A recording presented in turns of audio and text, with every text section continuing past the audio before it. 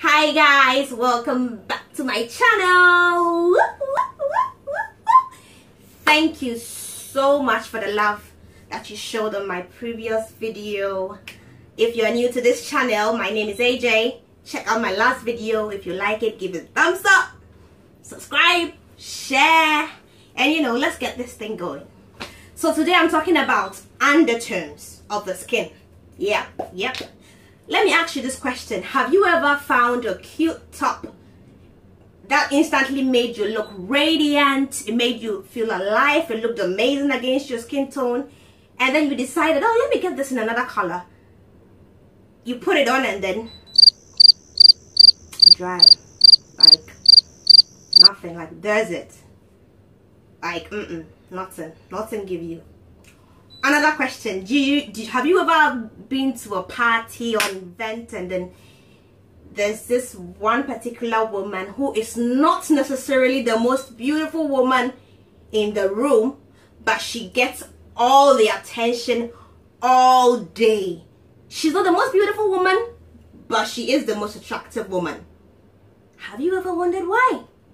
Do you want to know why? Okay keep watching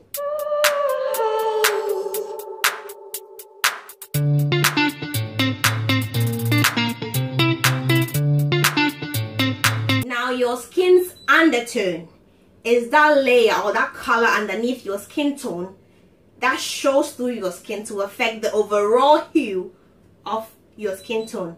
People usually confuse the two. There's a difference between your skin tone and your undertone. Skin tone and undertone. Now your skin tone is what you see on the surface. The undertone is found underneath your skin tone. There are three different types of undertone. We have the warm undertones, the cool undertones, and the neutral undertones. Why do we need to know our undertones? What are the benefits of knowing your undertones? First and foremost in the beauty industry, and especially when it comes to makeup, it's really important to know your skin's undertones because it helps you to find the right foundation for your skin. Your undertones affect greatly the type of foundation that you need to apply on your skin. That is why sometimes you apply a foundation and it looks um, white or it looks um, crusty or I don't know I don't know the right the right word to use for it but it looks white or ashy against your skin tone. So knowing the right undertones will help you to pick the right foundation for your skin tone. It also helps you when you it comes to clothing. If you want to pick select the best colors that suits your undertone to bring out the beauty of your skin. It makes you radiant. It maxes your glow factor if you want to stack up some attractive points. If you're trying to put your best foot forward, especially when you're trying to make an impression, you need to know your undertone, which will also inform the type of colors that you choose, even for your lipstick, for your makeup, for your hair, for clothing, you know, to help with all that you can have the same skin tone as another person but not necessarily the same undertone. We could both be dark skin but have different undertones. We could both both be light skin and have different undertones. Your friend could be wearing a blue dress and you share the same skin tone and then it will not necessarily look good on you because you have a different undertone. Okay? At this point the million dollar question is how do I find my undertones? It's quite easy. Uh, there are lots of ways to test your undertones, but I'm going to give you two easy ways to check your undertones. Number one, the jewelry method. The jewelry method. Now, get yourself some gold jewelry and some silver jewelry test it on yourself and see which one looks better against your skin tone. If you're having problems you know telling which one is better get a friend a colleague or someone like that and have them look at it and tell you. If silver looks better against your skin tone that means you are cool undertone if gold looks better against your skin tone congratulations you are warm undertones if both of them look phenomenal against your skin tone Congratulations, you are neutral. and and I'm jealous of you. Because when it comes to neutral undertones you can do you can do whatever. Because you can go with cool you can go with warm. Silver looks good on you gold looks good on you.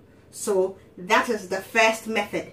Number two the second way to find your undertones is through the vein method. You, you, okay? So what you can do is that check the lightest part of your butt usually is the inner part of the arm or the wrist and try and find your vein. What color is the vein? Usually um if it's a green you see green veins you are a warm undertone. If you see bluish or purplish veins congratulations you are cool undertone. If it's the same color as your skin tone then it's most likely you are a neutral undertone so now that we know our undertones what next? Okay i'll tell you. I'll start with makeup. For makeup um i'll always i always use mac cosmetic as a reference point because i think they've made it quite easy. They have the nws and the ncs have you ever wondered what this stands for? The nw stands for the neutral warm nc stands for the neutral cool. So i think they've made it quite easy.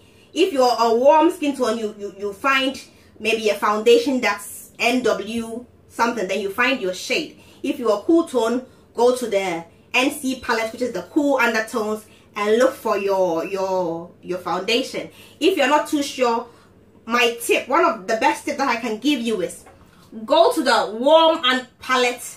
Choose the foundation that is closest to your skin tone. Go to the cool palette.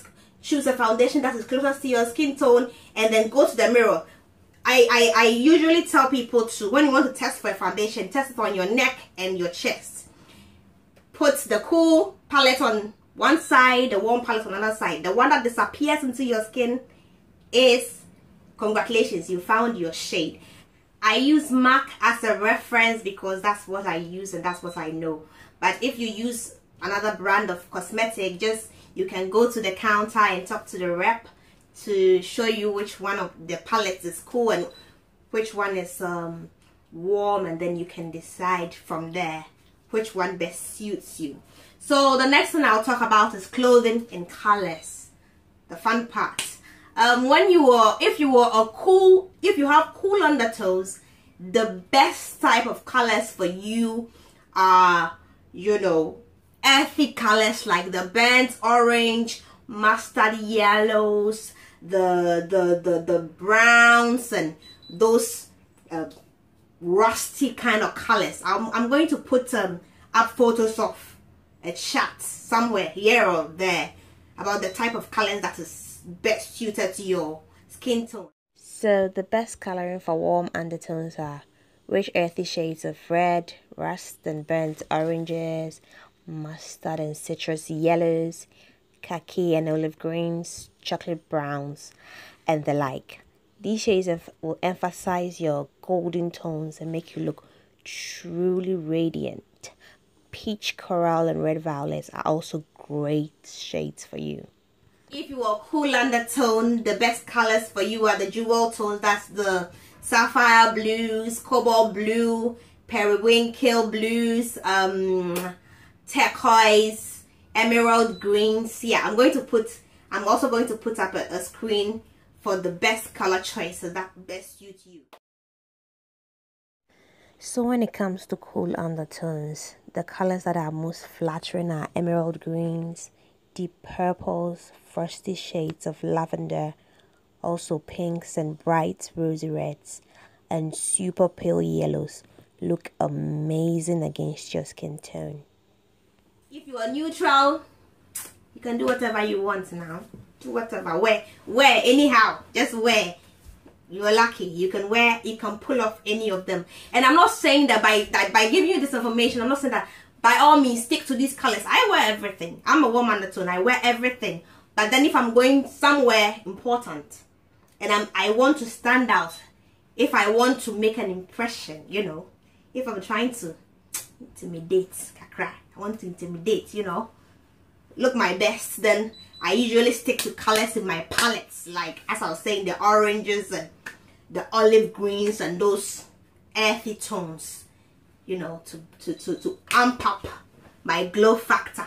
If you enjoyed this video, as usual, give it a thumbs up, share, subscribe, very important. Leave your comments down below if you have any question about what I've said so far. Just leave your comments and I'll surely get back to you.